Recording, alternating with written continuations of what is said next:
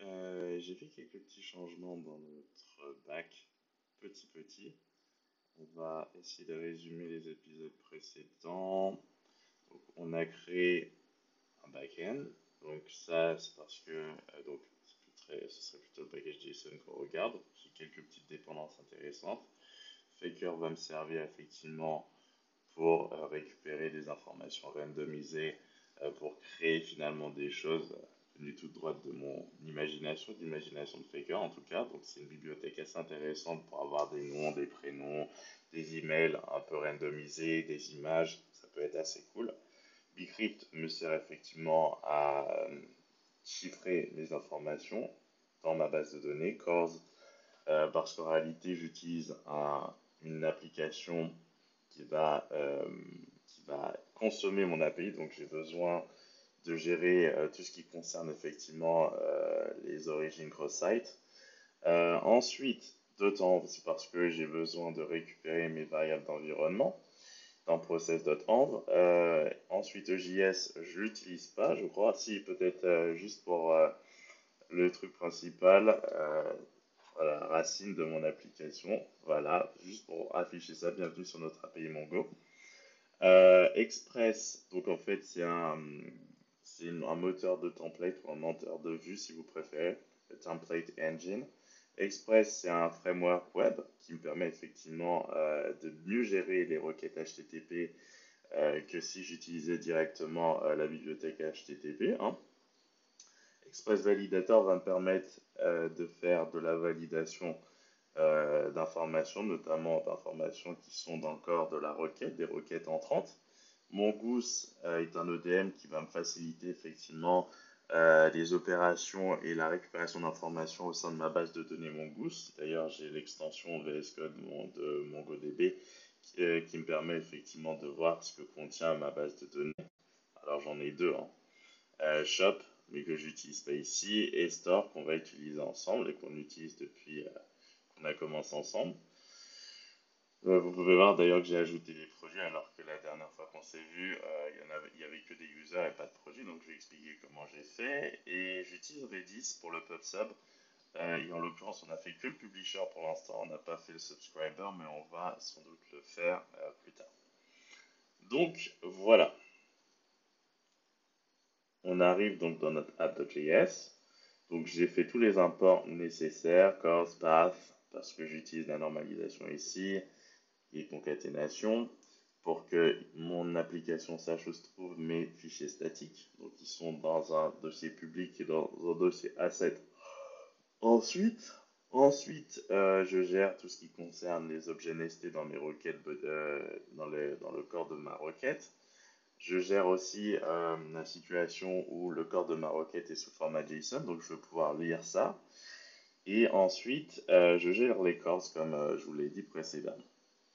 Je tourne ça sur le port 3300. Alors j'ai mis deux fois ça, c'est un peu bête. On va mettre 2333. 2330 euh, au cas où. Euh, mon host, c'est localhost. Euh, là, je fais de la petite manip pas très intéressante. Je faire des locals de REST pour passer ensuite des informations aux autres middleware puisque euh, Express c'est finalement une chaîne de middleware ou un moteur de middleware, euh, middleware engine. Et ensuite, j'ai mes middleware de gestion de mes routes users et de mes routes product, donc des routes qui concernent l'utilisateur et le produit. Et donc là, maintenant, on a déjà vu les routes qui concernent l'utilisateur. En tout cas, on n'a pas. On a vu le sign-up et le login. On a vu la route d'index. Euh, avec les différents middleware de contrôle. On contrôle le first name, last name. Tout ça, je l'ai défini ici. Donc là, vous voyez les différents middleware. J'utilise Express Validator. Donc ça, c'est un middleware. Ça, c'est un middleware, c'est un middleware, c'est un middleware, c'est un middleware. J'ai même un custom qu'on peut ajouter à cette petite chaîne de, vérification euh, pour vérifier si effectivement euh, la valeur de confirm password est la même que celle du password dans le corps de la requête. Donc ça, c'est parfait. Euh, et maintenant, on va s'intéresser au produit. Donc j'ai ajouté des choses. Donc déjà, j'ai fait un peu de seeding, c'est-à-dire que j'ai récupéré les user ID euh, dans ma base de données et euh, j'associe à chaque produit, chaque produit plutôt à un user ID, ce qui signifie que celui qui vend le produit, eh bien c'est l'utilisateur qui a pour ID ça, ça, ça, ça, ça ou ça, en fonction effectivement de l'incrémentation à chaque itération euh, liée à for each. Donc de cette boucle-là. Euh, J'utilise Faker pour faire tout ça, donc euh, comme ça c'est des trucs aléatoires. Donc ça a fait que ça m'a créé au sein de ma base de données 10 euh, petits produits, mais euh, ce que j'ai fait surtout, c'est que j'ai modifié le modèle avant de faire ça. Donc on va aller regarder le modèle. Product. Et comme vous pouvez voir, ici c'est leur ID, c'est plus un type string, c'est un, un, type schema types object ID pour finalement faire comprendre à mon goût, c'est à MongoDB que c'est une clé étrangère. Il fallait que j'écrive ça de cette façon et que ça fait référence effectivement à user, par exemple, à user ou à un modèle user ou à une instance d'un modèle user. Donc ça c'est parfait. Donc maintenant il sait que mon seller underscore ID correspond pardon à l'ID euh, d'un des documents de la collection user. En tout cas au pluriel, euh, ça s'écrit plutôt comme ça. Je vais vous montrer. Hop, ça pluralise et ça, ça va être important pour la suite.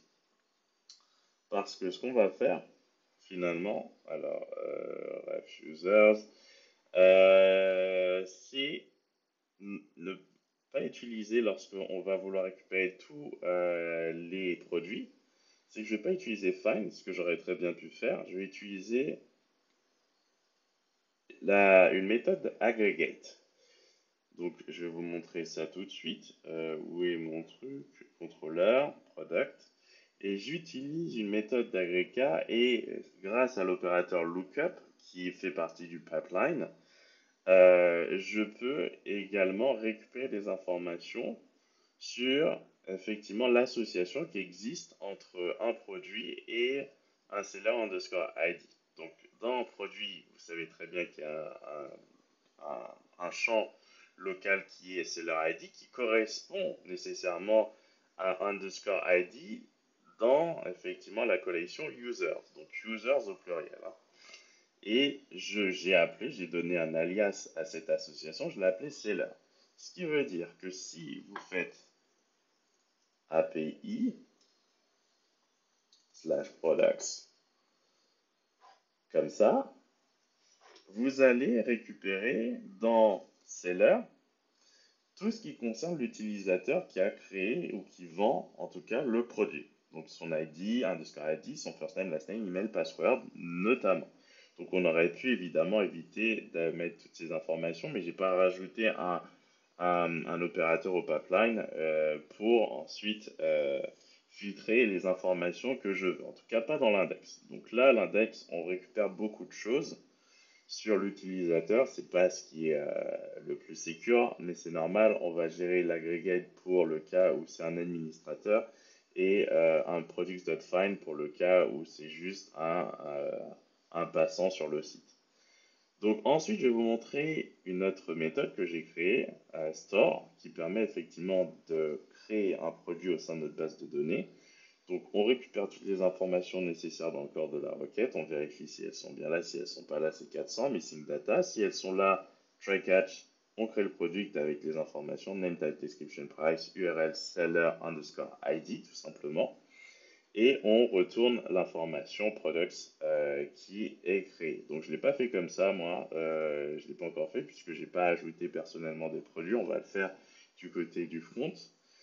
Euh, donc ça, c'est géré assez facilement. Ensuite, j'ai créé deux trucs intéressants, sort products by, by, price, donc ça veut dire qu'elle trie les produits en fonction du prix. Et là, j'utilise encore la méthode aggregate. J'utilise l'opérateur sort price je convertis, puisque c'est en string par principe, euh, ce qui sort du query. Je convertis ce qui sort du query effectivement en nombre. Et c'est soit 1, soit moins 1. C'est simple. Si c'est pas ça ou ça, et eh bien je retourne 400 valide data. Parce que si c'est 1, ce sera trié par ordre croissant, en ordre croissant. Et sinon, si c'est moins 1, ce sera en ordre décroissant. Et c'est justement les deux seules possibilités qu'on souhaite gérer. Donc là, on va mettre ça. Je vais vous donner un exemple. En fait, c'est on rajoute ça, si c'est là, ce sera un valide data. Mais si on met 1, ça va trier effectivement les informations en ordre euh, décroissant. Vous voyez, vous voyez plus, c'est l'heure en plus, hein, parce que là, c'est euh, tout simplement, euh, j'utilise product aggregate sort, mais c'est pas avec un lookup du tout. J'ai pas mis le lookup dedans. J'aurais pu le mettre, un hein, lookup dans le pipeline, mais là, dans le pap, j'ai mis juste cet opérateur-là. Donc, c'est tout ce qui m'intéresse comme, comme voilà comme opérateur, comme opération. Donc ça me récupère euh, tous mes produits en ordre euh, croissant, du, plus, du moins cher au plus cher. Et là, si je mets moins 1, ce sera du plus cher au moins cher, tout simplement. Donc ça, c'est fait avec effectivement l'opérateur de la ressorte. Euh, ensuite, ici, find product by type. Alors j'utilise match et project donc match by type, ça aurait pu suffire pour faire le job. Hein. J'étais pas obligé d'utiliser project du tout dans le pipeline. Mais le truc, c'est que je voulais n'afficher que l'ID et le type pour voir effectivement si ça s'appliquait correctement. Donc type, on va mettre ça ici, type. On enlève ça, on n'a plus besoin. Et euh, pour le type, je vais mettre salade parce que je sais qu'il y en a un alors, Product Notify, il n'y a plus de type salade apparemment. Je vais mettre, euh, pour le coup, euh, quels sont les types de mes produits? J'allais voir ça, en repérer un qui existe. Euh, document, on avoir un type tuna, ton. Ok. Donc là, il y en a deux, effectivement. C'est super. Il y en a deux qui ont un type ton. Alors, on pourrait même vérifier. Hein. On va arriver à celui qui a un type ton. Tuna, là, mais il n'y en a pas d'autre qui a un type ton. C'est cool qu'il y en ait deux. Donc, comme vous avez pu voir, on ne voit que l'ID et le type. C'est grâce à Project, ça. Donc, en fait, Project ne m'aide pas beaucoup parce qu'en réalité, quand j'utilise Sort, je veux récupérer plus que l'ID et le type. Je veux récupérer toutes les infos. Donc, Project, on va le mettre en commentaire. Donc, il est dans le contrôleur. Project, on va le commenter. Hop, euh, ça m'a fait un peu trop de changements là.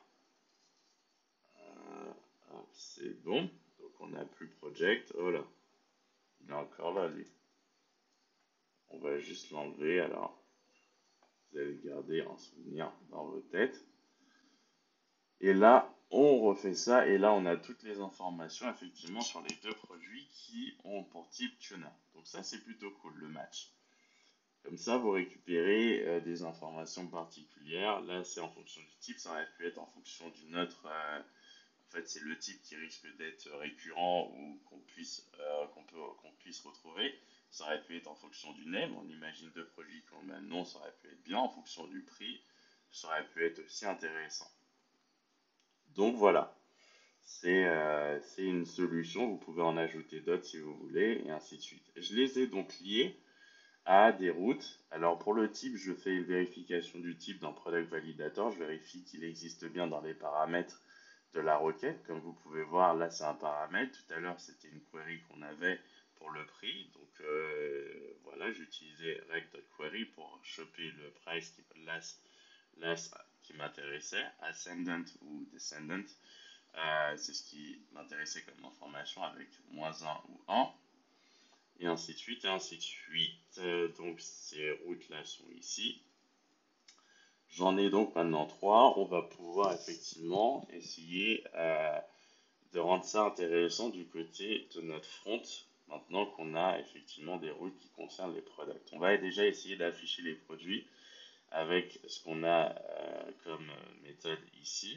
On va essayer d'afficher ça, tous les produits, même avec des informations qui ne sont pas nécessaires, ça peut être toujours rigolo euh, d'en avoir quelques-unes. Et puis, et puis voilà.